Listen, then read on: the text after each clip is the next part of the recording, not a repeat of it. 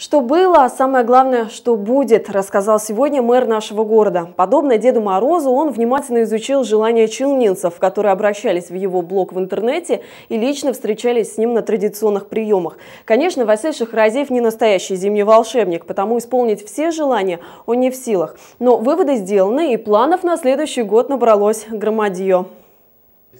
Неофициальная обстановка не помешала мэру сразу перейти к официальной части. Начал Василий Шахразиев свой монолог, который, к слову, длился около полутора часов, с позитивной информацией. Для многих челнинцев наступающий Новый год запомнится особо. Они смогут встретить его в своей новой квартире. В последних числах декабря произойдет массовое заселение. Среди будущих новоселов немало ветеранов Великой Отечественной войны и молодых семей. Чтобы это стало возможным, строителям пришлось изрядно попотеть в течение всего 2011 -го. И в следующем году заявил мэр, им придется работать не меньше.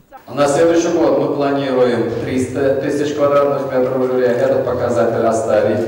А, и э, это в большей степени связано с освоением микрорайона Замеликесье.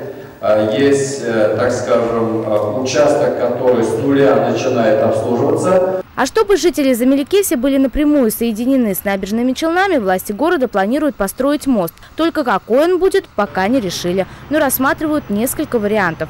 Первый – понтонный. Его строительство обойдется в 60 миллионов рублей. Есть новые образцы мостов, которые не идут понтоном, а перемычками. А, и ширина 4 метра, двухполосная, или понтонный вариант, или вот э, мост навесной.